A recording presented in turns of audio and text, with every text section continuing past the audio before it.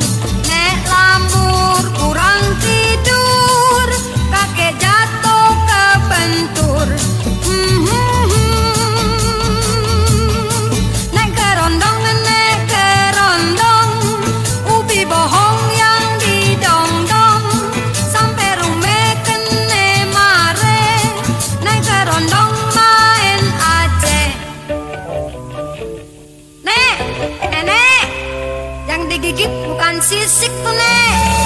Batu